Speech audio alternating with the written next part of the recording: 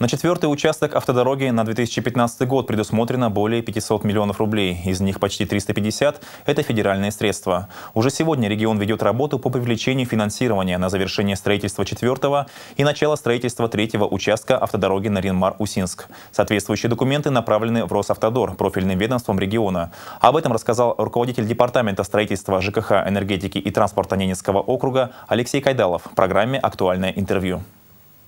На 2016 год правительство России выделило регионам порядка 69 миллиардов рублей на дорожные работы. В профильном ведомстве ожидают, что Ненецкий округ получит не меньше суммы этого года – 347 миллионов рублей. Сколько будет выделено по регионно, будет известно, по всей видимости, сразу после новогодних праздников.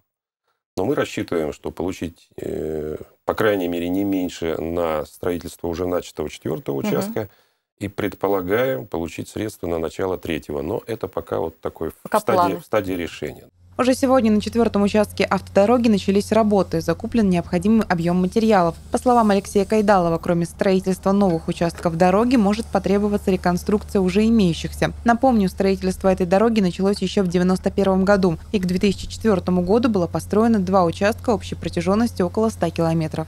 Те объекты, которые были э, уже построены, или требуют завершения, как, ну, допустим, так называемый там Шапкинский у нас участок, угу. который мы предполагаем тоже э, провести работы в следующем году по его завершению. Э, безусловно, имеет место быть утрата каких-то качеств и так далее, э, что придется как бы делать. Напомню, полностью построить дорогу на Ринмар-Усинск планируют к 2020 году. Ирина Цепетова, телеканал «Север».